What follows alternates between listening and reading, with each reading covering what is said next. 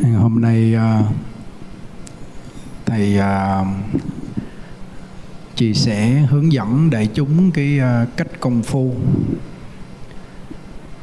Cho nên có phát trực tiếp cho các phật tử đang cộng tu trên trên mạng.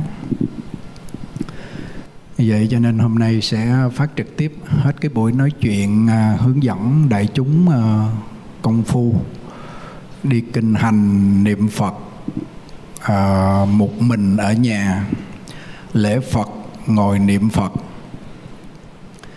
Thì tổ sư ấn quang ngài nói có hai cái cách là tu đại chúng và tu một mình. Thì hiện tại quý phật tử ở đây à, có một số à, khi mình tu với đại chúng hôm nay thì mình về lại nhà đó. Thì mình có thể tu một mình nếu mà mình muốn tu với đại chúng thì mình phải à, theo thời khóa ở tại chùa có phát trực tiếp. Nhưng một số người thì thức dậy sớm ba rưỡi hoặc 3 giờ chưa có quen á. Cho nên 4 giờ mình vô tu với đại chúng ở tại chùa thì nó bị lỡ công phu. Vì vậy cho nên thành ra có thể là mình lập một cái thời khóa riêng. Cho hôm nay thầy à, à, nói cái cách để mà mình tu à, một mình thì trước khi nói cái cách tu một mình đó thì nói cái thời khóa của đại chúng của mình ở đây. Để cho những người muốn ờ, cộng tu trực tuyến á, thì mình sẽ vào đây mình cộng tu. Ở nhà mình sắm một cái tivi. Hoặc có một cái ờ, mấy máy vi tính laptop nhỏ nhỏ đó để trong một cái phòng thờ. Nếu ai không có phòng thờ thì cái phòng ngủ của mình á nhà nghèo quá có cái phòng trọ thôi thì ở trong cái phòng trọ của mình hoặc trong cái phòng nhỏ nhỏ khoảng à, 20 mét vuông, 25 mét vuông, 30 mét vuông vì đó. Trong phòng ngủ cũng được. Nhưng mà mình treo cái tranh Phật khỏi còn bàn thờ khỏi còn thắp nhang. Thì khi mình công phu thì mình à, cái cái tranh Phật á mình à, thả cái tranh Phật xuống. Còn khi mà mình mình công phu xong mình cuốn cái tranh Phật lại vì khi mình hết công phu rồi thì nhiều lúc đôi khi mình mặc quần đùi hoặc là mình sinh hoạt nó không có trang nghiêm á thì mình để cái tranh Phật như vậy thì ờ, không có cung kính mang tội. Có người hỏi tổ ông quan dán cái hình nam mô di đà phật á, dán cái chữ nam mô di đà phật trên vách tường được không? Ngài kêu dán thì được nhưng mà dán cho kỹ á. Ngài chỗ nào mà thiệt là cao ráo cung kính á chứ mà dán cái chỗ cái vách rồi nó rớt xuống rồi dậm đạp rồi à, à, đồ đạc vứt để chồng lên trên đó thì tội lớn á. Cái đó là câu nam mô di đà phật chứ không nói là hình phật ngang còn hình phật thì mình càng cung kính nữa. À, bằng tranh hoặc bằng vải hay là cái loại gì đó mình thiệt sự là cung kính tu xong cái mình cuốn gọn lại cái mình cất ở trong cái học đó. Được chưa? Rồi thì uh, tu tại trong phòng ngủ cũng được có cái tranh Phật cũng được. Nếu mà mình không có tranh Phật thì mình hướng về hướng Tây hoặc là cái hướng nào đó mà thuận tiện cho mình mình thành tâm mình lễ mình tụng cũng có cái sự cảm ứng như thường. Nhưng mà có tranh có cái bằng Phật thì à, thì nó dễ nhiếp tâm hơn. Thì cái thời khóa của đại chúng mình ở đây thì tương đối là khá ổn định đó thấy mỗi buổi sáng rồi buổi tối quý phật tử vô tu rất là ổn định. Thì sáng 4 giờ ở đại chúng mình ở đây tụng kinh di đà. Khi đại chúng tụng kinh di đà thì có một thầy đánh mỏ tụng ngân nga như vậy đó để cho đại chúng theo. Đó là tu của đại chúng tụng kinh ha. Còn mình ở nhà khỏi còn mỏ. Như thầy tu bên đó, sáng cái thường là thầy phải có thời đại bi 25 biến. Thì tụng đại bi mở máy ra ngồi trên cái ghế như vậy nè. Sau khi ngồi cái ghế này, tụng đi bi 25 biến mở cái máy ra mình tụng theo rất là khỏe. Thì sau khi tụng xong, cái thầy xuống thầy ngồi bệt ở dưới á. Ngồi xếp bằng ở dưới bắt đầu là tụng tụng bằng miệng mình á. Tụng bằng miệng mà thầm thầm thôi. Hoặc có nhiều lúc đọc không ra hơi luôn. Thì tụng một mình không cần chuông mỏ đâu có cái chuông mình quýnh ben ben cho cái tiếng kêu chút vậy thôi, chứ cũng không có cần mình tụng nhịp mỏ như vậy nè. Cái tâm mình nó động, cái tâm mình nó động thì, cái tay mình nó động thì cái tâm mình nó khó nhiếp còn riêng quý thầy quýnh mỏ để đại chúng theo là buộc phải có. Còn một mình mình thì khỏi cần. Cho nên tổ ông quan đó mà ngồi niệm phật mà lần chuỗi thì tay động thần không an. Chứ đừng có nói là tụng kinh đánh mỏ. Đánh mỏ thì quý thầy là phải đánh rồi, cho đại chúng thì không không đến nổi nhưng một mình mình tu hàng ngày thì không cần đánh mỏ đâu. Nhớ kỹ ha. Thầy cũng vậy không đánh mỏ. Sau khi ờ, đại chúng ở đây tụng kinh di đà xong rồi cái rồi bắt đầu đi kinh hành. Một bên lạy một bên đi kinh hành. Rất là ổn định đúng không? Thì mình vẫn giữ cái cách này từ xưa nay thì nó ổn định rồi mình cứ giữ như vậy. Còn ai muốn uh, nhiếp tâm hơn thì cố gắng nhớ số. Nhưng bữa thầy nhắc á trong mấy niệm nam mô di đà phật một câu, mình không nhớ số. Mình niệm một câu, nam mô di đà phật, mình nhớ số một. Nhưng mà cái cách nhớ số, hôm bữa thầy có nói nó có hai cách. Cái người mà mới bắt đầu nhớ số, thì mình mình đếm số một trong tâm, rồi mình niệm ra một câu nam mô di đà phật hoặc a di đà phật. Thì cái này là bước đầu tạm thời thôi. Sau một thời gian mình phải cố gắng đi vào dùng cái cách 334 cái cách 334 là tu một mình chứ còn tu với đại chúng niệm từng câu từng câu thì 334 nó hơi khó niệm. Nhưng mà mình nhớ được câu nào mình nhớ số, mình nhớ được câu nào mình nhớ. Thì chút nữa thầy sẽ chỉ cái cách niệm 334 một số quý Phật tử niệm rất là nhiếp tâm. Thì từng câu mình nhớ từ số 1 đến số 10 như hôm bữa nói cũng được. Nhưng bước đầu thôi, nếu mà về sau mình cố gắng mình chia làm ba nhịp thì nó lại tăng cái công phu nó nhanh hơn thì bây giờ 9 giờ thì tụng thêm thời phổ môn, kinh hành niệm phật thì cái giờ đó hơi ít á. Sau khi mà chùa mình xây xong rồi à, thầy sẽ cố gắng à, à, bốn thời trong phòng nhập thất riêng á, là sẽ hướng dẫn đại chúng cái cách không phải như đại chúng mà tu như vậy đâu, nó sẽ có cái cách mình tu cái thời khóa riêng. Ờ, một thời là một thời đại bi, tức là bốn thời bốn thời đại bi. Bốn thời công phu là có bốn thời đại bi là một trăm biến nhưng bữa thầy nói đó. Rồi cộng lại thêm đó nữa là mình đi ờ, kinh hành niệm phật. Chút xíu nữa thầy đi cái cách kinh hành niệm phật một mình quý vị thấy rất là thích. Nếu mình ở nhà mình lễ và mình đi cái kiểu như dân nhàn đang công phu mình đó chỉ cho quý vị chút xíu nữa nếu ở nhà đó mình có thể thay đổi. Ví dụ sáng 4 giờ mình tu ở đại chúng rồi à, mình có công việc gì đó thì mình có thể một tiếng đồng hồ cũng được.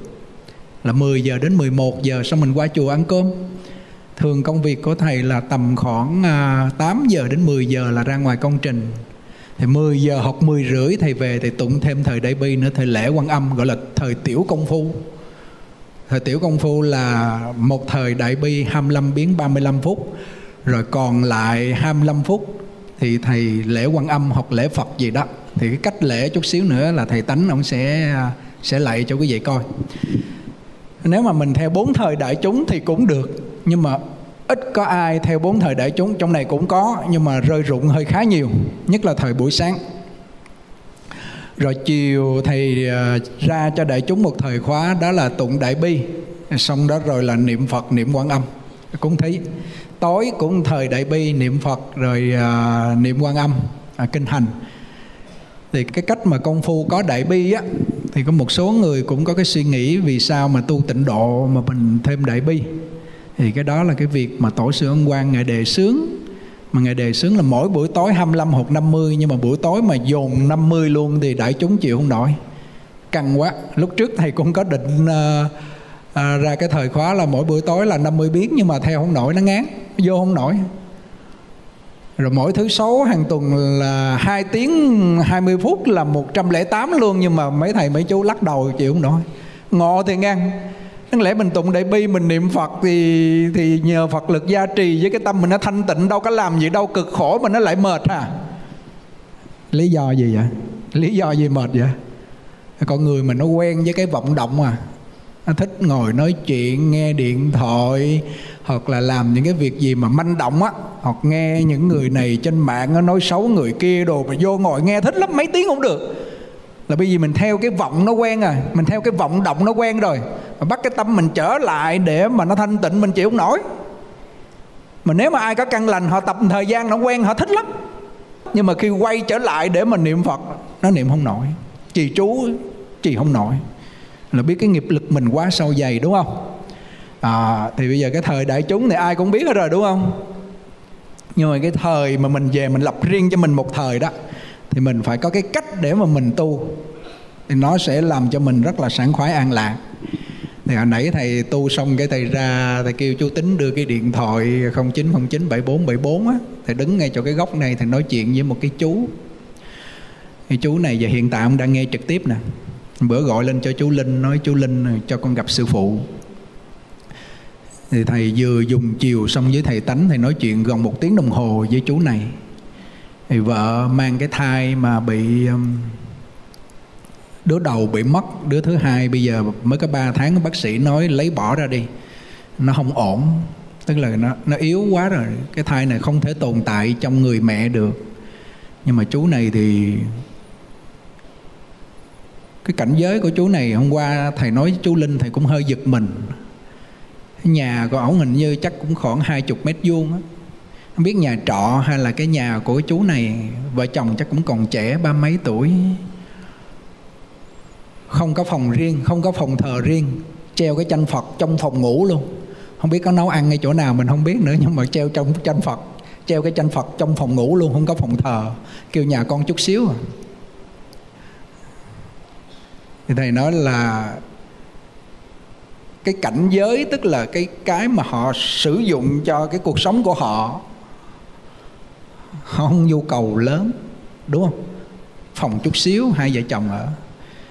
Nhưng mà họ làm cái phước thầy hơi giật mình. Thầy cái bữa nào thì đi sài gòn thầy phải ghé thướng thầy xăm thăm vợ chồng. Thì vợ chồng mới hỏi về cái việc có nên bỏ hay không. Ông chồng là quyết định không bỏ thì thầy mới thuyết phục nói chuyện xong xuôi hết. Thầy kêu thôi giờ cứ việc uh, niệm quan âm trì đại bi tu tập đi. Mà sanh ra nếu mà có tật nguyền thì uh, mang lên cho thầy lên cho thầy thầy nuôi. Nghe đến đây, cái bây giờ hơi cảm động. Cho bây giờ sao? Đừng có bỏ. Quyết định đừng có bỏ. Và bữa cũng có một cô đó rồi đó. Nó quyết định là đừng có bỏ. Ông chồng, ở trong lâm hà, ông chồng là quyết định bắt phải bỏ. Bởi sợ phải chạy ra đây và nghe thầy nói xong cái bắt đầu là quyết định về nói ông chồng không bỏ, ông chồng quyết định là phải bỏ. Bởi vì bác sĩ nói không giữ được. Để lâu ngày trong đó là nguy hiểm gì đó, sanh ra không được, hoặc sanh ra nó tật quyền thôi, mổ bỏ đi thì thầy lý giải rất là nhiều, xong cuối cùng vợ chồng chấp nhận. Giờ nãy ra thì cái gửi cái đường link trực tiếp này cho chú để ông coi cái cách để mà tu. Thì thầy có đưa ra cái thời khóa tu một mình. Thầy kêu chút xíu nữa tu xong thầy sẽ hướng dẫn cái cách tu một mình. Bởi vì nếu mà không có vô thời khóa thì mình phải có cái cách tu một mình. Thì cách tu một mình sao giờ nghe nè thì thường thầy vẫn thích là trước khi vào thời công phu, nguyện hương xong xuôi hết ngồi trên cái ghế 25 biến đại bi. Mà khi có 25 biến đại bi rồi, quý vị vô tụng kinh niệm phật, cái tâm mình nó vô định rất sâu. Cái cái sức trì đại bi mà tiên tụ tiên nhang vô ngài đại bi tâm đà la ni nam mô an đà năng đà ra dạ dạ nam mô a di đà ma lo yến đế tâm an đà dạ mời đề năng đà ma dạ thì cái máy nó liên tục không có ngắt khoảng, nhưng mình thì có ngắt khoảng, mình hít thở. Thì 25 biến 35 phút mà cái tốc độ như vậy thì quý vị vọng tưởng không nổi. Cho nên thầy rất thích sáng, trưa, chiều, tối, bốn thời là, bữa nay là gần như là bốn thời, bận lắm đi thì mới ba thời thôi. Chứ không là bốn thời, mà bốn thời đều có 25 biến đại bi 35 phút. Chưa là gì mất thời gian nhiều và và thời tiểu công phu á thì một thời đại bi 25 biến. Nếu có thời gian tụng kinh thì mình tụng 5-10 phút nữa Còn không thì mình lễ Phật hoặc lễ quan âm gì đó. Thầy cho cái đó thời đó là cái thời tiểu công phu. Hầu, hầu như là 10 giờ đến 11 giờ là sáng á, là thầy dùng cái cách này. Còn buổi trưa khoảng uh, à, 2 giờ đến 4 giờ mà tu được 2 tiếng á thì một thời đại bi 35 phút. Tụng kinh thầy có 5 phút à mà tụng nhanh mà không có có có mất chữ nha không có dối nha học 7 phút thôi. Sau khi đó bắt đầu là mới niệm phật, rồi lễ phật, rồi niệm quan âm, rồi lễ quan âm. Thì cái cách mà lễ một mình, có những lúc thầy vẫn dùng cái máy, nhưng hôm nay là hầu như rất ít dùng máy. Dùng máy là đại chúng, còn không là mình tự lạy. Thì cái cách tự lạy này nó nhanh hơn dùng máy. Mà cái câu phật hiệu nó vẫn rất là đều đặn mà không mệt. Còn dùng máy thì câu phật hiệu nó ít hơn nhưng mà cái câu phật hiệu nó vẫn liên tục mà nhiều ít thì không quan trọng. Đối với tổ ông quan là làm sao niệm phật mà hàng phục được vọng tưởng nhiếp tâm vào câu phật hiệu. Mà mà mà trong văn sao uh, ờ, tổ quan hay nói đó là là niệm cho rõ ràng là nam mô a di đà phật hoặc là a di đà phật niệm cho rõ ràng nghe cho rõ ràng và nhớ cho bà rõ ràng thì ba cái này gọi là cái dây để nó cột cái tâm mình lại. Niệm cho rõ ràng, nhớ cho rõ ràng và nghe cho rõ ràng. Và thêm một cái nữa đó là nhớ số cho rõ ràng. Đó là ông Hồ Tiểu Lâm, ông chứng vào cái cảnh giới này rất là sâu. Cho nên chiều hôm qua thầy có nghe mấy Phật tử nói uh, tu đại bi xong rồi một số Phật tử nghe cái đoạn ông Hồ Tiểu Lâm ông chia sẻ một số người nghe vô không nổi đi về. Thực sự ông này ông có sở chứng về cái cái pháp môn thập niệm của tổ ông quan rất là sâu. Ông là thành phiến. Thành phiến nghĩa là ông nói là một tiếng rưỡi đồng hồ chỉ có ba cái vọng niệm trở lại thôi. Thì gọi là thành phiến. Một tiếng rưỡi đồng hồ mà chỉ có ba cái vọng niệm thôi. Thì mới gọi là thành phiến dễ sợ. Mình một phút là nó nhảy không biết bao nhiêu cái vọng niệm trong này. Hả? Ừ. thôi, bây giờ thầy tánh sẽ sẽ ra lại thầy thầy sẽ nói sẽ nói hướng dẫn, rồi thầy tánh sẽ lại thì từ khi mà giác nhàn ngồi chia sẻ riêng với thầy tánh thì mỗi buổi sáng 3 giờ khuya, thầy tánh là 2 giờ 40 thầy thức rồi. 2 giờ 40 thầy thức. 3 giờ là thầy có mặt tại chánh điện này, Thầy lại một mình theo cái kiểu mà hôm bữa giờ giác nhàn áp dụng. Chỉ cho thầy thì thầy nói khá là đắc lực. Cái cách này hay. Không mấy. Đứng niệm thầm một câu, Nam Mô Di Đà Phật ra hơi thì tỏ quan ngày dùng cái cách là ra hơi không ra tiếng. Đây loại loại là niệm phật kim can trì không bị tổn khí. Còn nếu mà niệm mà bốn chữ mà không ra hơi trong tâm á, thì rất dễ mất rất dễ mất. Bây giờ thầy tánh có một cái micro để chút nữa ra hơi cho quý vị nghe nha. Hôm nay chỉ hơi kỹ nè mọi người khắp nơi trên thế giới nghe. Thì sau đó là chú pháp cũng sẽ làm một cái video này lại để cho mọi người xem thì thầy nhắc trước là có một số người thấy cái cách này nó tưởng chừng như là đơn giản. Nhưng mà khi mà khi mà nhập thất, đại chúng sau khi xây cái nhà khách xong cái tầng trên là hộ niệm, tầng thứ nhì là nhà nhà nhà để nhập thất 40 người á, là thầy cho dùng cái cách này, lại cái cách này. Quý vị quý vị ở nhà tập lần cái cách này đi. Lúc đó vô nhìn cái đạo tràng lại nó không có đều nha. Người lên người xuống không có đều được như theo máy đâu nhưng mà rất là nhiếp tâm. Tùy theo khả năng của mỗi người lại. Thì cái cách mà sau khi ờ, chùa mình làm xong là nó có một cái thời khóa gọi là nhập thất một tuần. Ở trong đó không làm gì, không ra, không xài điện thoại. Ở trong đó một tuần mà lỡ mà gia đình mình có chuyện gì mình báo trước á, thì có cái chuyện gì mà đột xuất thì ngày ngày có người mất hoặc là gia đình buộc phải ra đó thì sẽ có người báo để cho mình đi ra. Và trong đó là không dùng điện thoại. Một tuần đó là sẽ tu chung với thầy. Và thầy tu vài tuần xong rồi giao cho mấy thầy hai ba thầy mà chắc chắn là mấy thầy sẽ thích không có làm gì. Sáng 3 giờ thức dậy ba rưỡi công phu cho đến 6 giờ là hai tiếng rưỡi khác hơn ngồi đây một chút. Ở đây 6 giờ đến 4 giờ đến 6 giờ ba rưỡi đến 6 giờ. Thì trong đó là nó có thời đại bi 25 biến tụng kinh và và niệm Phật lễ Phật cũng như vậy. Nhưng mà cái niệm Phật lễ Phật y như vậy này chuẩn bị chỉ quý vị này quý vị về tập thử cái cách này. À, đừng có nghĩ là thấy uh, giác nhàn tìm ra sẵn quý thầy mấy chú quý Phật tử thấy nó bình thường nha. Bởi vì mình có sẵn là mình hay thấy bình thường lắm còn cái gì mình phát minh ra mình mằn mò mình tìm mình mới thấy nó quý. Nhưng mà giờ bây giờ mình ngửa tin lời Phật tức là cái cách này là cái cách mà thập niệm của tổ sư ông quan mà tổ sư ông quan thì ngày căn cứ nơi lời của Phật dạy. Ngài nói nếu mà mình niệm Phật mình không nhớ số là một chập là mình nhớ cái chuyện gì đó. Mình nhớ cái chuyện năm não năm nào cái chuyện sắp tới. Hoặc cái chuyện đã qua. Thì thì cái chuyện mà sắp tới á, mình nghĩ nó cũng loạn tâm mà cái chuyện đã qua rồi, dẫu chuyện tốt, chuyện xấu, mình nghĩ nó cũng loạn tâm cho nên thành ra có ba cảnh giới mà con người mình lọt vào trong đó là nhớ quá khứ, nghĩ về tương lai, nó rối loạn trong hiện tại. Cho nên là mình bất an, mình đau khổ. Rồi tỏ quan nói là bây giờ không muốn nhớ quá khứ, nghĩ về tương lai để loạn trong hiện tại á, thì thì mình nhớ số đi. Tâm mình thì nhớ số, và mình nhớ mình đang niệm câu phật hiệu vào câu số mấy nghe cho rõ ràng, nhớ cho rõ ràng, niệm cho rõ ràng. Lâu ngày chạy tháng thì người này sẽ được nhất tâm bất loạn. Quý vị mà vô cảnh giới nhất tâm bất loạn thì thôi rồi. Nghiệp thì tiêu, tham sân si mạng nghi. Sát sanh trộm cắp tà dâm nói láo uống rượu. Nghiệp thì tiêu thì sao? Trí tuệ phát sanh. Mà trí tuệ nhà phật phát sanh thì quý vị khỏi phải chê người này rồi. Không phải chê rồi. Nghiệp tiêu trí rạng chướng, tức là những cái chướng ngại á, chướng tận là chướng nó hết. Phước sanh. Mà khi mà phước sanh thì quý vị làm ăn đâu chúng đó, quý vị tu thì nó sẽ thành tựu. Không những thành tựu cho đạo quả riêng tư mình, mà cái cảnh giới của mình nó cũng thành tựu. Muốn làm có việc phật sự gì là nó trôi chảy, nó suôn sẻ. Và cái phước mà nó tăng rồi là bao nhiêu người ở xung quanh mình, người ta hưởng không hết cho nên cái kết quả của người niệm phật là nghiệp tiêu. Muốn khởi tà dâm không được, muốn khởi trộm cắp không được, muốn khởi uống rượu không được, muốn khởi nói láo không được. Bởi vì mình sợ đọa ác đạo. Cái tâm nó vô định rồi, cái những ý niệm này nó mất. Nghiệp tiêu.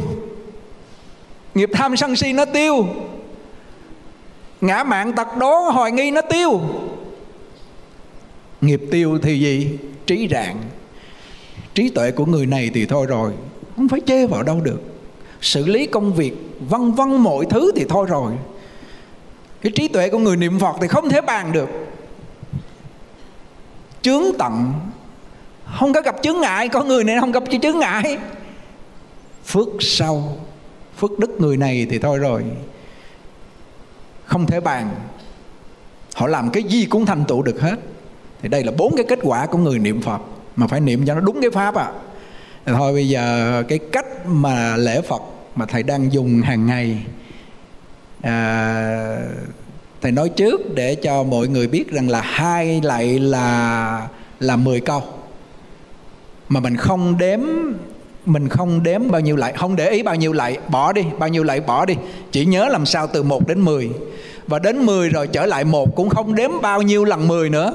Sáng có cô Phật tử cô nói, thập niệm nhớ số như vậy, con niệm 1 đến 10 rồi con có nhớ bao nhiêu lần 10 không? 7 lần 10 20 lần 10 50 lần 10 không? Không không cần thì bước đầu nhớ số rất khó, cho nên mình phải đọc số 1 trong tâm như tuần trước thầy nói.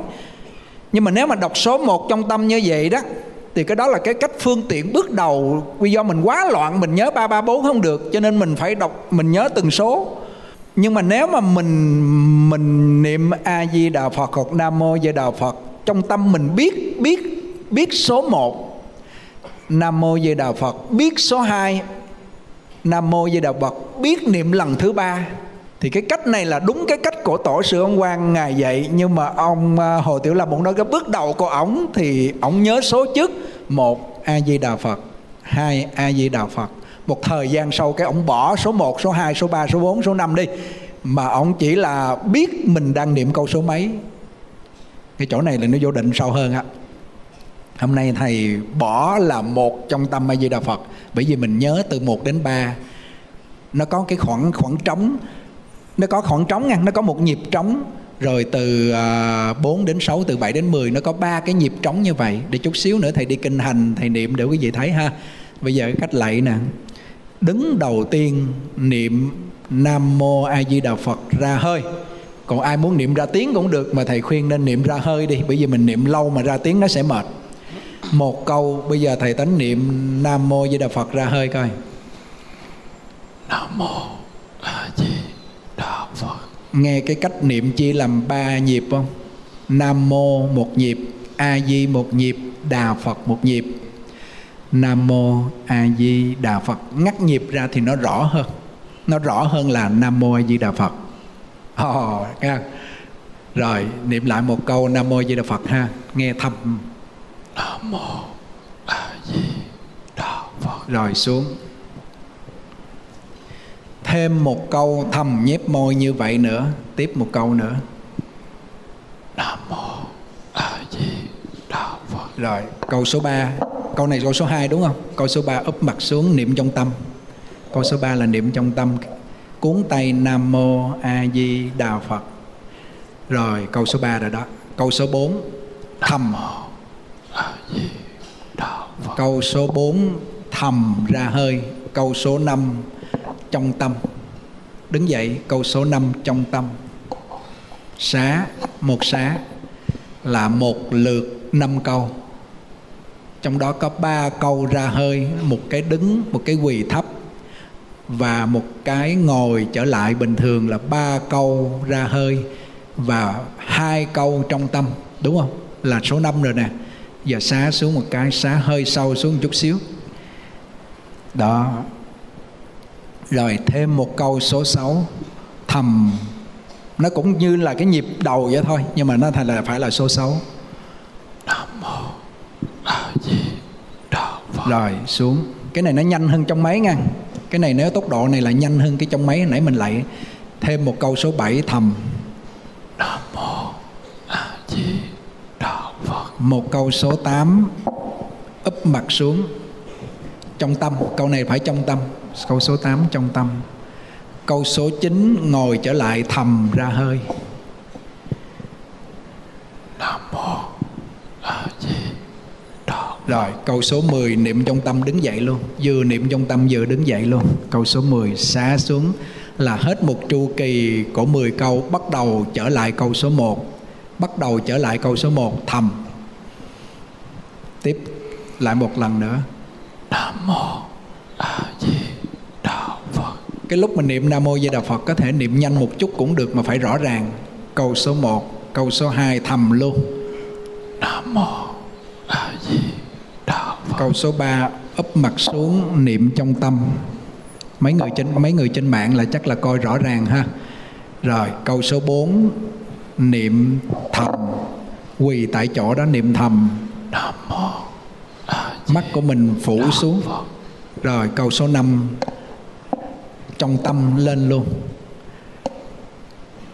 Rồi câu số 6 xá xuống nhớ cứ một lần nữa là xá một lần. Câu số 6 thầm nam mô a di thầm ra hơi. Rồi câu số 7 Câu số 7 thầm luôn nữa nam mô a di Rồi câu số 8 trong tâm Thì thôi rồi Không có vọng tưởng đi đâu được hết. Nhớ là số 8 khỏi đọc số trong tâm cũng được. Nhớ là số 8 Câu số 9 thầm. Nam mô a di Rồi câu số 10 đứng dậy trong tâm. 10 câu nhưng mà động tác nó là một. Năm câu một nhịp động tác là một. Đứng một câu Quỳ thấp một câu Thầm ấp mặt xuống một câu trong tâm Ngồi lại vị trí bình thường Một câu số 4 là thầm. Thầm ra hơi, Đứng lên một câu. Thì mình thấy từ 1 đến 10 Nhưng mà nó chỉ có một động tác. À.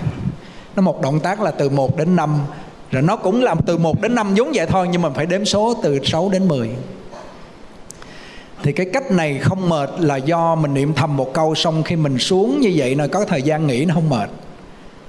Mà khi mình xuống mình có thời gian nghỉ như vậy thì cái số thứ hai á, nó rất là dễ nhớ nhưng mà bước đầu mình lại á, cái nhịp thứ hai một chập cái bầu có tâm mình nó loạn mình không nhớ là cái nhịp từ 1 đến 5 hay là từ 6 đến 10 cho nên mình phải trở lại từ 1 đến 5 mình quay trở lại từ 1 đến 5 để cho nó định vị vào cái số trở lại.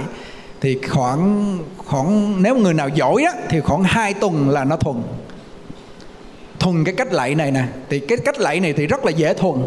Nhưng mà cái cách niệm đi kinh hành hoặc là mình niệm tự do thì rất là khó thuần bởi vì nó đang bị vận động á, nó đi á, cho nên nó rất là khó thuần. Buộc là phải 3 tháng trở lên. 3 tháng trở lên nó mới thuần. Cho nên cái cách đi với cái cách mà sinh hoạt hàng ngày, thầy niệm nó vẫn chưa vô, chưa nhớ số nổi. Vì cái tâm mình nó chưa có đủ sức định với nó vọng tưởng quen á, cho nên thành ra nó chưa vô nổi. Chứ cách lạy thì khoảng một tuần đến hai tuần là nó thuần liền. Nhưng mà thường khoảng ba, bốn ngày đầu là quý vị cực với nó lắm. Nó chạy đeo tùm lum hết trơn à nó không có nhớ nhưng mà nhưng mà mình mình nhớ là là cái nhịp đầu tiên là cứ đứng số 1 quỳ thấp số 2 ra hơi ấp mặt xuống là nhớ số 3 mà ấp mặt xuống không biết số mấy là mình kêu, thí dụ nó đến là số 8 đi, úp mặt xuống số 8 ngửa lên số 9 đứng lên số 10 phải không? Thì mình úp mặt xuống là số 8 cái mình quên không biết số mấy, thôi cho vô số 3 luôn. Nhớ lại là số 3 số 3 tức là mình biết là câu số 3 khỏi đọc là 3 nhưng mà bước đầu mình không nhớ số được thì bây giờ mình phải là ai di, một ai di đạo phật, hai ai di đạo phật. Nhưng bữa thầy tập cái kiểu đó đó, vài ngày sau nghĩa là bắt đầu là tự nhiên mình nhớ một đến ba rất là dễ. Cái lớp mẫu giáo đó là một a di đà phật, hai a di đà phật. Nhưng mà bắt đầu lên lớp lớp một, lớp hai là phải là ba ba, bốn. Được chưa? Nhớ cách lạy nào không? Giờ thử đi. Giờ thử cái cách lạy thử coi là cái tâm mình nó nhiếm làm sao. Ví dụ trong mấy câu, mình câu thì nó mất thời gian hơn. Còn cái này là toàn bộ mình niệm không không có mấy nhưng mà nên nhớ rằng là nếu mà mình tập cái cách này mà nhiều lúc nó hơi ngán, nó hơi giải đãi thì phải mở máy ra để hỗ trợ. À chứ không phải là cái cách này nó hoài nó chịu cho mình, bởi vì mình mới tập. Thầy tánh thì cái cách của thầy là xưa nay thầy có sức khỏe, thầy thích tu cho nên thành ra thầy lại nửa tiếng, một tiếng với cái kiểu này là thầy nói rất là bình thường. Nhưng mà mình là hơi căng, nhiều lúc đôi khi nó giải đãi, đúng không? Đó là cái à, cái cách để lạy, đúng không? Rồi thôi được rồi tánh cho ngồi đi. Mượn micro đó chút xíu nữa để đi vòng vòng à, kinh hành cái cách một mình không có máy. Bây giờ coi cái cách ngồi niệm phật cái cách ngồi niệm phật của thầy.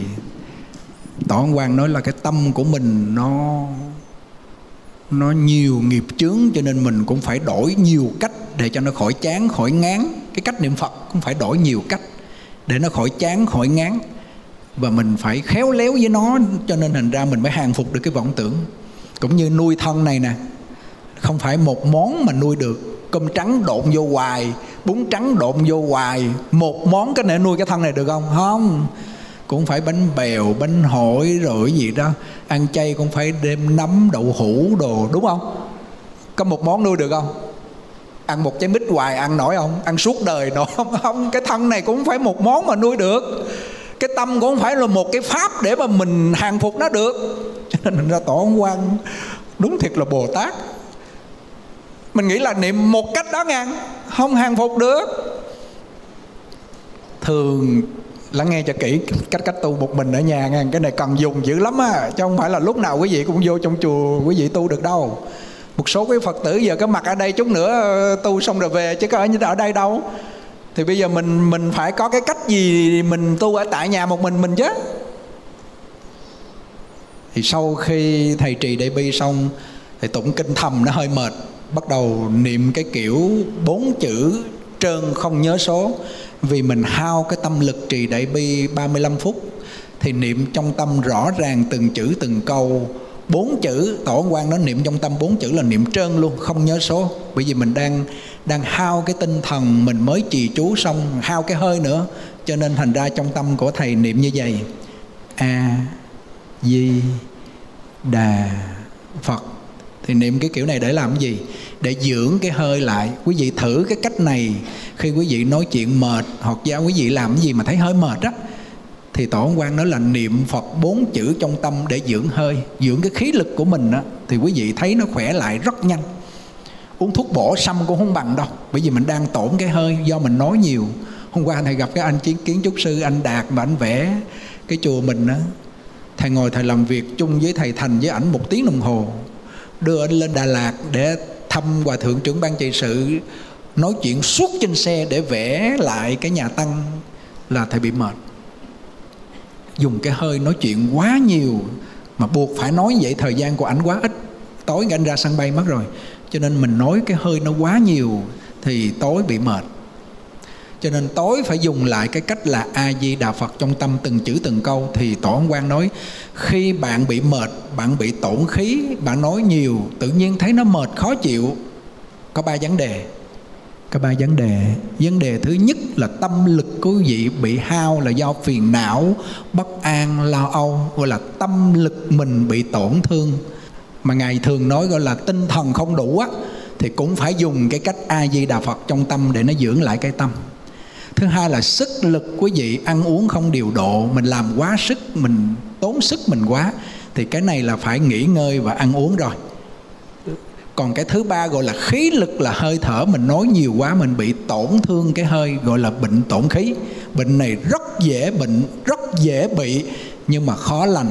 Khó lành là không có thời gian nghỉ dưỡng cho nó đó, như hồi nãy giờ quý thầy mấy chú đang ngồi nghe đúng không? Giác nhàn đang nói giờ là đang hao cái hơi. Nhưng mà mình biết là mình chi dùng hao cái hơi này để nói phật pháp thì nó có cái phước báu. Mình biết mình về mình dưỡng lại thì nó khỏe, còn không biết dưỡng là nó bệnh luôn. Bệnh hao hơi tổn khí là nó kỳ cục trong người lắm. Nó mệt mệt, nó ngủ không được, nó khó chịu lắm nó trằn trọc, nó khó chịu lắm. Thì cứ a di đà phật trong tâm. Cho nên sau khi trì đại bi xong là thầy hay niệm trong tâm bốn chữ, từng chữ, từng câu, rõ ràng trong tâm. Tức là khi mình trì đại bi, hoặc mình tụng kinh, hoặc mình nói gì nhiều đó, một là nằm, hai là ngồi, mà thường là ngồi. Mình tụng khoảng, mình niệm như vậy khoảng 5 đến 10 phút, tự nhiên cái khí lực mình nó sung mãn trở lên. Rồi lúc đó tiếp tục nam mô a di đà phật. Mà thầm thôi. Nam nam mô a di đà phật. Nam mô a di đà phật. Nếu bữa đó tinh thần không tập trung nhớ số được thì niệm trơn luôn. Niệm trơn luôn. Từng chữ, từng câu nam mô di đà phật. Ra hơi thì nên niệm sáu chữ. Niệm một chập mà thấy hơi hôn trầm rồi, hơi buồn ngủ rồi. Cảm giác nó hơi khó chịu rồi. Bắt đầu đứng dậy đi kinh hành. Đi kinh hành đi làm sao? Đi kinh hành nó cũng có mấy cách. Một cách là hai chữ một bước. Hai chữ một bước. Nam mô a di đà phật. Trong tâm biết là số một. Trong tâm mình biết là số một. Nam mô a di đà phật. Trong tâm biết là số hai. Nam mô a di đà phật. Mà thường thầy thầm thôi, là biết số 3 số 3 cái mình ngưng lại một chút, mình đi. Tức là một nhịp của nó là ba câu mình ngưng lại một chút để cho nó có cái nhịp khoảng trống á. Rồi bắt đầu mình đi một chút xíu. Tiếp tục vô số lại. Nam mô a di đà phật. Biết là số 4 khỏi đếm số 4 biết là số 4 biết là số 4 rồi uhm, tiếp tục đang còn nhịp thứ hai nha. Nhìn cho kỹ nè nhìn bước chân nè. Nam mô a di đà phật. Biết là số 5 rồi đó. Nam mô a di đà phật. Biết là số 6 cho nó nghỉ một khoảng trống một chút. Cái khoảng trống này là cái nhịp cái nhịp ba ba, bốn mà, khoảng trống một chút. Lúc này khỏi niệm bình thường để cho một chút xíu thôi, nhìn nè. Bắt đầu vô cái nhịp số 3 là từ 7 đến 10 hồi nãy 3 1 đến 3 rồi 4 đến 6 giờ cái nhịp 7 đến 10 nè.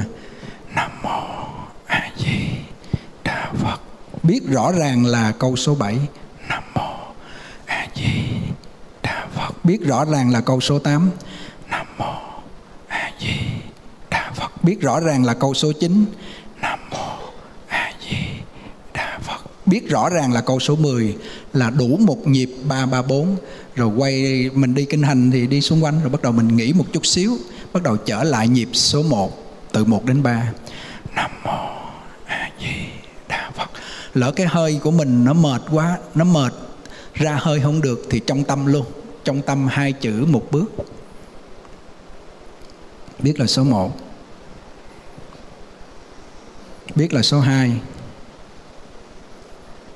biết là số 3 trong tâm hai chữ một bước rất chắc. Nó rất là chắc. Rồi nghĩ một chút xíu. Vẫn đi vẫn đi nghĩ một chút. Bắt đầu vô nhịp số 2 từ 4 đến 6 nhưng mà niệm thầm thì chưa đến nỗi mệt đâu trong tâm thì nó không được rõ lắm. Mấy người niệm trong tâm không quen là nó nó không rõ. Nhưng mà niệm thầm thì rất là rõ mà không có mệt, gọi là kim can trì. Bắt đầu nhịp số 2 từ 4 đến 6 Nam mô A Di Đà Phật. Nam mô A Di Đà Phật. Nam mô A Di Đà Phật. Cho nó nghỉ một nhịp một chút xíu. Nó có khoảng khoảng trống của một nhịp á. Còn mình niệm từ 1 đến 5 luôn á thì nó hơi khó nhớ hơn nhưng mà đến nhịp thứ năm là mình ngắt cho nó nghỉ một chút thì mới gọi là hai nhịp từ 1 đến 5 từ 6 đến 10 còn ba nhịp là từ 1 đến 3 à, nên niệm từ 1 đến 3 từ 4 đến 6 từ 7 đến 10 mình mới tập thì nên là niệm chia làm ba nhịp thì nó khỏe cái tâm hơn. Ba nhịp tức là cái nhịp từ 1 đến 3 mình phải cho nó nghỉ một chút mới có khoảng trống một chút. Rồi bắt đầu mình vô một nhịp nữa thì mới gọi là 334 nhìn coi kỹ lại nè. Cái này là đi kinh hành, không bao giờ mệt. Đi hoài, đi mấy tiếng cũng không mệt luôn, rất là thích. Lẽ thì đôi khi mình lên xuống nó hơi mệt, nhưng mà đi thì tuyệt lắm, rất là thích. Cho nên là mỗi buổi sáng thì đi một tiếng đồng hồ, đi cái kiểu này mà niệm trong tâm không nhớ số được, mà đi tốc độ nhanh á, cho nên cái sức khỏe nó rất là tốt. Nhìn nhìn, bây giờ nhìn kỹ lại, đi luôn liên tục niệm thầm ba ba bốn nè. Bắt đầu vô nhịp đầu tiên nè.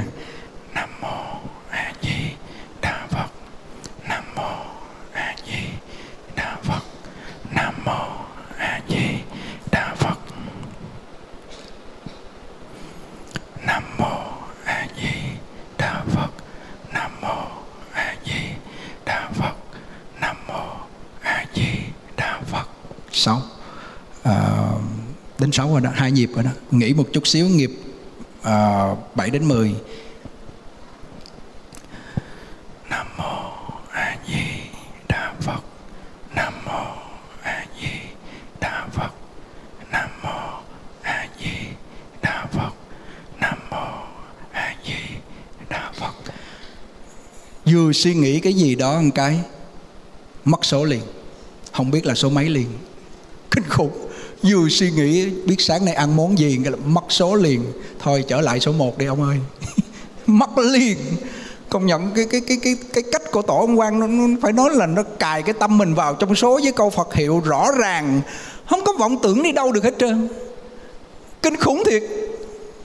Nhưng mà nhưng mà nhưng mà cái ba ba bốn là mình cho nó thuần thiết là thuần rồi bắt đầu thì mới nói chắc cũng phải vài năm thì mới nói đến 1 đến 5, 6 đến 10 nhớ ngắt nhịp nghe nhớ ngắt nhịp tức là 1 đến 3 xong cho nó nghỉ một chút xíu, không niệm gì luôn. Cho nó có một cái khoảng trống không niệm gì luôn. Rồi bắt đầu mình mới tiếp tục vô cái nhịp thứ hai. Mà cái cái hay của của câu Phật hiệu mình thầm ra hơi, mình nghe rõ ràng. Niệm đừng có có có có cần phải số lượng nhiều mà phải rõ ràng, nghe cho rõ ràng, nhớ số cho rõ ràng, niệm cho rõ ràng thì ngài nói là nhất tâm có phần. Nhất tâm bất loạn là có phần. Mà cái người nhất tâm rồi thì họ muốn nghĩ, vọng tưởng họ nghĩ không được nữa. Họ nghĩ không được nữa. Cái cách nhớ số mà từ 1 đến 5 cách cách lạy này thì phải 1 từ 5 thì 6 đến 10 bởi vì mình đứng một chỗ thì mình dùng 1 đến 5 6 đến 10 còn đi thì phải là một, chia làm ba ra. Thì cái nếu mà cái cách này đó thì thì ít khi bị vọng tưởng. Mà khi mà nó nhiếp được rồi là quý vị không cái chán cái tu. Bởi vì mình tu mà mình bị vọng tưởng, mình bị phiền đảo, mình lo ra, cho nên mình chán, mình mới không tu mình không muốn tu nữa chứ mình đã nhiếp được vô câu Phật hiệu thì làm sao mà mình lại chán? Đúng không? Đó, cái cách đi kinh hành của thầy hàng ngày là thầy đi như vậy đó. Mà có những lúc ngăn có những lúc nghiệp chướng nó nó làm cho mình khó chịu thì phải mở máy ra đổi cái cách một chút xíu. Mở máy ra giống như mình đi kinh hành hồi nãy đó. Mở máy ra cái là trong máy một câu mình câu mà thầy vẫn đếm luôn cho nó vô số luôn. Máy bỏ mình niệm số 1 niệm 1 đến 10 bởi vì cái máy thì nó niệm có khoảng trống thì mình đếm 1 đến 10 nó dễ hơn. Nhưng mà vẫn thích cách này. Vẫn thích cách này. Nhìn nè. Nam mô a di đà phật. Nam mô a di đà phật. Nam mô a di đà phật. Một nhịp. Nhớ là ba câu một nhịp rồi cho nó khoảng trống một chút xíu. Ba ba, bốn là buộc phải cho một cái nhịp. Nó phải có khoảng trống một chút nam mô a di tức là hai chữ, một bước nó rất là đều, nó rất là vừa vặn cái chân mình bước, mình rất là thoải mái. Đúng không? Không có mấy, cái này là không có mấy nữa nha tiếp là nhịp thứ hai nè. Từ 4 đến 6 nè. Nam mô a di đà phật. Nam mô a di đà phật. Biết số 5 rồi đó. Nam mô a di đà phật. Biết là số 6 không đọc số nhưng biết nó là số 6 ngài nói là biết nó là số 6 còn cái người mà mới bước đầu là họ phải đọc một a di đà phật, hai a di đà phật, nhưng không dùng cách này lâu được. Nó không có nâng cao cái tâm thức đi vô định sâu bằng cách biết số mà không đọc số. Nhớ không? Cái này hơi khó mà tập đi tập đi, nó quen dễ lắm, không có gì khó đâu. Trời ơi, cái gì cũng phải tập à. Tập, mình tập là nó quen, mà khi nó đã quen rồi thì thích lắm. Có gì không tập mà biết không? Có gì không tập mà biết không? Không có cái gì mà không tập mà biết phải tập mới biết, đúng không? Đó, cho nên ra là thử coi, thử cái cách này nhưng mà đều phải kiên trì với nó, cho nó quên, nó lộn, là mình chán mình bỏ. Rồi, bây giờ tụ chung lại là ba cách, đúng không? Cách thứ nhất là cách lạy ờ, như thầy tánh, đúng không? Nhưng mà ông hồ tiểu lâm thì ông lạy cái kiểu của ổng mà mình theo không nổi. Ông lại bốn chữ thầm, nhưng mà ông không có định vị là đứng là số 1 là số 1 hoài, hoặc là đứng là số 6 là số 6 hoài như thầy tánh hồi nãy mà ông lạy cái cách ba ba, bốn của ổng là thầm nhép môi, mà nó không có định vị. Thí dụ là cái cái hành động của mình nó cố định trong một câu. Còn thầy thì cái tâm mình yếu quá cho nên mình mới cố định. Cái câu thứ nhất là phải là số 1 là đứng, rồi số 2 quỳ thấp, rồi số 3 ấp xuống, rồi thứ tư như vậy, thứ năm lên. Rồi số 6 rồi đứng, số 7 tức là mình gài nó vô trong cái hành động của mình. Bởi vì cái tâm mình nó loạn quá cho nên mình phải dùng cách đó còn ổng thì dùng 334 thì theo cái kiểu mà không chung với hành động của mình. À, lúc 7 thì nó là đứng mà lạy đợt sau thì lúc 10 là đứng. Có nghĩa là cái hành động nó không vô với cái số thì ổng nói là nó nhiếp sâu vô định hơn. Thì cái cách này của ổng thầy chưa dùng được. Ông này cái cảnh giới ổng cao quá rồi. Thì bây giờ mình dùng cái cách lạy này trước. Về sau cái tâm mình nhiếp sâu nữa thì dùng bốn chữ ba ba bốn cái kiểu của ổng nhưng mà thầy vẫn thích lạy cái kiểu này là sáu chữ thích hơn à, đó là cái cách à, nãy giờ là nói cái chuyện tu của đại chúng thì quý vị rành quá rồi. Nhưng mà về cái cách mình tụng chú đại bi một mình rồi niệm phật bốn chữ trong tâm là để nó dưỡng hơi thương thầy. Đó giờ nói chuyện xong vậy bắt đầu bước ra cái là a di đà phật trong tâm hoặc là quán thăm bồ tát trong tâm để dưỡng hơi.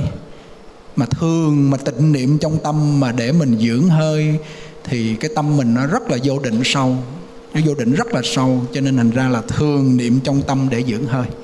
Là cái tâm mình nó quay vào trong cái khí lực mình, nó sẽ sung mãn lại, nó rất là khỏe, ha. Thì thôi, hôm nay cái cách hướng dẫn như vậy, ai thấy ai thấy thích dùng được thì quý vị về cứ dùng đi.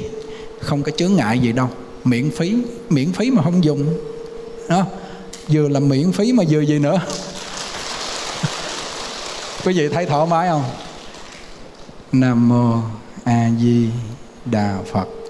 Nhớ số 1 thăm á, nam mô a di đà phật. Nhớ số 2 nhớ nhớ là số 2 không đọc số 2 còn người mà họ loạn quá rồi, một, nam mô a di đà phật. Trong tâm á, thầy bước đầu là vậy nè. Rồi đọc trong tâm số 2 nam mô a di đà phật. Ba, nam mô gì đó nó loạn quá rồi. Ba ba bốn nó không nhớ được cho nên phải đọc số trong tâm niệm ra hơi. Phải mất hết tuần đầu. Tuần đầu rồi bắt đầu rồi cái tâm nó mới nhiếp nhiếp nó mới chịu nhớ số là bắt đầu ba ba bốn được á. À, quý vị mỗi lần sáng hoặc trưa thầy dùng cơm xong là thầy hay dùng cái cách như vậy. Dùng cơm xong là không ra hơi luôn. Trong tâm thôi. Có nhiều lúc không nhớ số mà bây giờ nó quen quen nó thích nhớ số rồi. Niệm trong tâm hai chữ một bước. Nếu mà đi tốc độ đi bộ nhanh á, là khỏi vô cái tiếng nó khỏi vô bước luôn. Đi tốc độ nhanh nè. Tức là cái câu Phật hiệu nó rất là rõ ràng nhưng nó không có theo cái chân, bởi vì cái chân mình đi bộ quá nhanh. Cho nên là khuyên những Phật tử buổi sáng nếu mình ở nhà mà mình có thời gian mình tu, sớm một chút từ 3 giờ đến 5 giờ thì mình bỏ một tiếng đồng hồ mình đi bộ. Niệm quan âm hoặc niệm Phật, sáng nên niệm quan âm mà đi tốc độ nhanh nhanh mà đừng nhanh quá, nó mệt. Thì cái cơ thể mình rất là khỏe. Mà mình vẫn niệm từng chữ, từng câu rất rõ ràng, chậm trong tâm. Nhưng tốc độ mình đi nhanh. Là buổi sáng, cái tốc độ thầy đi như vậy nè. Nhưng mà niệm trong tâm chậm. Niệm ra tiếng cho quý vị nghe cái tốc độ nha. Và cái cái cái tốc độ trong tâm nha. Nhưng mà cái cái cái cái cái cái cái tốc độ trong tâm chậm nha. Nhưng mà cái hành động đi nhanh nè. Nam mô quán thế âm bồ tát nam mô quán thế âm bồ tát đó. Tức là cái cái tốc độ trong tâm chậm như vậy mà hành động đi nhanh. Thì cái thân mình nó mới vận động mạnh, nó ra mồ hôi. Nó tiêu hóa, nó thải những cái độc tố trong người mình ra và nó trao đổi chất bên trong, cho nên hòa thượng tình không cái tốc độ ngày đi rất nhanh. Mỗi buổi sáng là đi một tiếng đến hai tiếng đồng hồ, mấy thanh niên chạy không lại.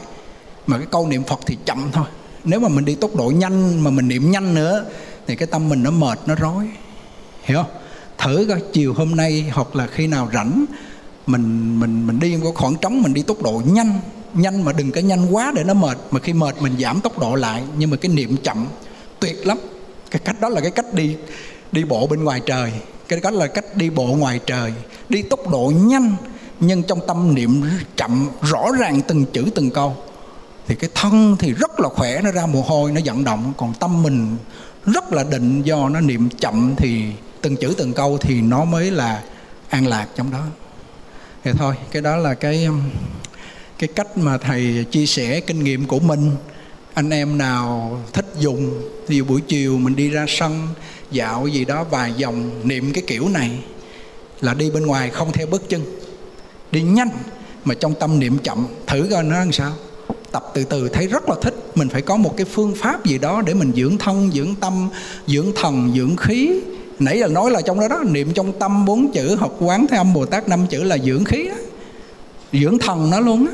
Cho nên cái câu niệm phật nói cạn thì cũng rất là cạn. Đó là để dưỡng thần, tinh thần được an lạc mà nếu mà sâu á, là nó tiêu trừ nghiệp chướng tăng trưởng thiện căn hả? Phước huệ viên mãn. Nếu mà sâu thì thôi rồi khỏi phải nói cái cái cái công đức niệm phật nó sâu 11 giờ 20 phút giờ thầy tánh đọc văn sao xong là chúng ta nghỉ được rồi ha. Thì hôm nay à, thầy có phát trực tiếp nói chung quy lại là cái cách tu thôi chứ không có giảng gì hết thì nếu mà tuần sau mà thầy tánh đọc văn sao thì thầy chia sẻ, thầy vẫn là cắt cái phát trực tiếp. Thầy không muốn đưa lên trên mạng nữa. Còn riêng cái việc này là hướng dẫn cái cách kinh nghiệm bản thân, thể hội được cái niệm phật, chia sẻ anh em huynh đệ. Nếu ai thấy thích thì mình dùng. Nhất là buổi sáng, nếu tu ở nhà, có thể tu một tiếng. Đại bi 35 phút, xong tụng kinh, niệm phật một ít, bắt đầu đi bên ngoài như vậy, niệm quan âm thì hoặc là niệm phật. Đi tốc độ nhanh niệm trong tâm chậm thì quý vị coi khoảng một tuần thôi. Thì quý vị ăn ngủ thấy làm sao và sức khỏe quý vị làm sao biết không? tính ra thầy đi cũng được 20 ngày không bỏ ngày nào hết. Lúc trước là đi ở dưới kia nó bị hôi mùi ừ, thuốc sâu rồi không có được ừ, trong lành. Cho nên hôm nay đi đi lên trên đường cao tốc mà lên tới trần tầng lê gia trang á, lên trên đó rồi đi. Do chỗ cái cái rừng thông núi voi á, là đi tốc độ thiết nhanh thì nó mới khỏe chứ mà chạy thì nó mệt liền. Nó mệt cái là mình bắt mình ngồi lại tại chỗ nhịp tim nó lên quá cao nó mệt. À, thì cái đó là cái cách thầy chia sẻ những cái kinh nghiệm của mình.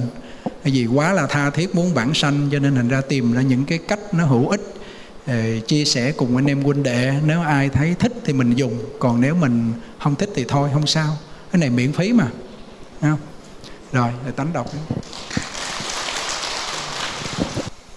Nam mô Bổn sư Thích Ca Mâu Ni Phật. Nam mô A Di Đà Phật. Vâng theo lời sư phụ chỉ dạy, con xin phép đọc lời khai thị của tổ sư quan chích cho văn sao. Thành tâm cung kính nhân lên cúng dường chư tôn đức tăng ni và toàn thể đại chúng trong buổi sáng ngày hôm nay. A Di Đà Phật. Tổ sướng quan khai thị, khai thị số 1, bệnh tật và phương pháp hóa giải tay phải của ông bị thương tật là do ác nghiệp sát hại chúng sanh trong đời trước chiêu cảm. Hãy nên chí thành khẩn thiết niệm phật để hồi hướng cho những oan gia trong đời trước ấy. Ngõ hậu họ được siêu sanh tịnh độ, đều có thể thường niệm nghiệp sẽ tự tiêu diệt. Nghiệp tiêu thì bệnh lành, cần gì phải cưa tay? Dẫu cưa tay cũng chẳng thể tiêu nghiệp được. Hãy nên tuân theo lời tôi, tích cực niệm phật. Lại còn niệm thêm, quán thế âm bồ tát, chắc chắn chưa đầy một năm, tay sẽ lạnh hẳn. Ông gây nên tà thuyết thượng hạng, hai người vô lượng, hãy nên biết lấy. Hơn nữa trong tâm, tính căn, lẫn quyền căn không đủ, sẽ chân thể, vãng sanh. Chứ không phải là kẻ thân thể không đầy đủ, sẽ chẳng thể vãng sanh. Ông đọc bộ văn sao của tôi, sao không biết đến nghĩa này? Trích trong văn sao tam biên, thư trả lời pháp sư tông linh. Chúng ta từ vô thì đến nay, ai nấy đều có túc nghiệp, đều có túc thiền kẻ khéo dụng tâm, dẫu ác nghiệp phát hiện, vẫn có thể tăng trưởng thiện căn. Kẻ chẳng khéo dụng tâm, dấu thiện căn phát hiện vẫn tăng trưởng ác nghiệp. Ông bị đau chân, kiết lì, đau mắt là do túc nghiệp. Do niệm phật mà chuyện báu nặng đời sau, thành báu nhẹ trong đời này con người chuyện gì cũng chỉ nên thuận theo thiên lý nhân tình mà làm. Thì đời này tuy không được hưởng lợi ích lớn lao, nhưng sẽ ngấm ngầm tiêu trừ nghiệp chướng, tăng trưởng phước huệ mà chẳng hay biết. Hãy nên càng thêm nỗ lực để làm bằng khoáng hồng được văn sanh trích dẫn văn sao tăng biên. Thư trả lời cư sĩ dương huệ phương khai thị số 2 tổ sưởng quan khai thị về pháp thập niệm ký số. Khai thị tính nguyện, nếu luận về pháp môn tịnh độ, chỉ liê bao pháp, tính, nguyện, hạnh, làm tông yếu, đầy đủ bao pháp, quyết định vãng sanh. Nếu không tinh thật, nguyện thiết, dẫu có chân hành cũng chẳng thể vãng sanh. Huống gì tu hành, hờ hợt, hờ hững ơ ngài ngẫu đã nói, được sanh hay không, hoàn toàn do có, tính nguyện hay không phóng vị cao hay thấp là do trì danh sâu hay cạn. Đây chính là lời bằng luận thường hằng ba đời chẳng đổi được, là đạo màu độ khắp ba căn vậy. Phải dốc toàn thân dựa theo đó mới hồng chứng được lời ích thực sự. Ba điều tính nguyện hành đều được giải thích tường tầng trong sách thập yếu, nhưng trọng yếu nhất là phần thứ ba, tức là phần minh tông. Minh định tông chỉ của một bản kinh thuộc đoạn ngũ trùng huyền nghĩa của sách yếu giải đã phát huy bao pháp này đến mức tinh xác tường tận nhất. Nhưng trong những phần sau, đoạn nào, tiết nào cũng đều chia bày, hãy nên đọc kỹ, không thể viết đầy đủ hết. Khai thì chỉ cách niệm phật. Còn như niệm phật, tâm khó quy nhất, hãy nên nhiếp tâm, khẩn thiết niệm, sẽ tự có thể quy nhất. Pháp nhiếp tâm không pháp nào chẳng chứ hết phải chí thành, khẩn thiết. Tâm không chí thành mà muốn nhiếp tâm thì không có cách nào cả. Nếu đã chí thành mà vẫn chưa thuần nhất hãy nên lắng tai nghe kỹ. Bất luận niệm ra tiếng hay niệm thầm, đều phải niệm từ tâm khởi, tiếng từ miệng lọt ra, âm thanh lọt vào tai. Niệm thầm dấu miệng không động, nhưng trong ý vẫn có tướng miệng niệm. Tâm, miệng niệm cho rõ ràng, rành mạch, tai nghe cho rõ ràng, rành mạch, giúp tâm như thế vọng niệm tự dứt. Nếu vọng niệm vẫn còn nổi sống, thì dùng pháp thập niệm ký số, tức là đem sức lực toàn tâm đặt nơi một tiếng Phật hiệu. Dầu muốn khởi vọng cũng không có sức. Diệu pháp nhiếp tâm niệm Phật rút rau này, xưa kia các vị phần truyền tinh độ chưa đề cập đến, là vì căn tánh có người khi ấy còn thông lợi chẳng cần phải làm như thế mới có thể quy nhất được. Ấn quan do tâm khó chế phục mới biết cái hay của pháp này. Càng thử càng thấy hay, chẳng phải là nói mò đâu nhé. Nguyện khắp thiên hạ những kẻ đồn căn đời sâu đều cùng sử dụng, khiến cho vạn người tu, vạn người về. Pháp thập niệm cái số vừa nói đó chính là trong lúc niệm phật, từ một câu đến mười câu, phơi niệm cho phân minh, lại phải nhớ phân minh, đến mười câu là thôi. Lại phơi niệm từ một câu đến mười câu, chẳng được niệm hai mươi, ba mươi. Niệm đâu, nhớ đấy, không được lần chuỗi, chỉ dựa vào tâm để nhớ. Nếu nhớ thẳng vào mười câu thế khó, thì chia thành hai hơi tức là từ câu thứ nhất đến câu thứ năm và từ câu thứ sáu đến câu thứ mười nếu vẫn thấy mệt nên từ câu một đến câu ba từ câu bốn đến câu sáu từ câu bảy đến câu 10 chia làm ba hơi để niệm. Niệm cho rõ ràng, nhớ cho rõ ràng, nghe cho rõ ràng, vọng niệm không chỗ chân chân, nhất tâm bất loạn, niệm lâu ngày sẽ tự được. Phải biết mười niệm này giống như cách nhiếp vọng bằng pháp thập niệm buổi sáng nhưng dụng công khác xa. Buổi sáng mười niệm thì hết một hơi là một niệm chẳng lần số câu niệm Phật nhiều hay ít. Cách này lấy một có vật hiệu làm một niệm còn cách kia chỉ có thể niệm 10 hơi vào buổi sáng nếu niệm 20, 30 hơi sẽ tổn khí thành bệnh. Cách niệm này, một niệm là một câu Phật hiệu, tâm biết một câu, niệm 10 câu Phật hiệu, tâm biết 10 câu. Từ 1 đến 10 rồi lại từ 1 đến 10 Dẫu có cái ngày niệm mấy vạn tiếng cũng đều nhớ như thế Chẳng những trừ vọng lại còn dưỡng thần tốt nhất. Niệm mau hay chậm chọn không chơi ngày Từ sáng đến tối không gì không thích hợp. So với cách lần chuỗi như số Lợi ích khác nhau một trời một vật Cách kia tức là cách niệm bằng lần chuỗi. Thân mệt, thần động. Cách này thân nhàn tâm an. Nhưng lúc làm việc, nếu khó nhớ số, Thì cứ khẩn thiết niệm thẳng. Làm việc xong, lại nhấp tâm, nhớ số như cũ. Dầu ý niệm loan loan đến đi, cũng vẫn muốn quanh. Chuyên chú đến một cảnh phật hiệu. Đại thế chí bồ tát nói, nhiếp tròn sáu căn, tịnh niệm tiếp nối đất tâm địa, ấy là bậc nhất.